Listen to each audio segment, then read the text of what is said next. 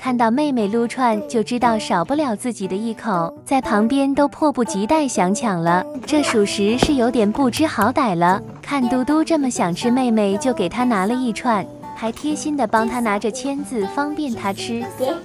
喂完嘟嘟再喂我，还剩一串，本来是给自己的，却又转身给了嘟嘟。吃这么多，居然还在惦记我的那份，你怎么好意思的啊？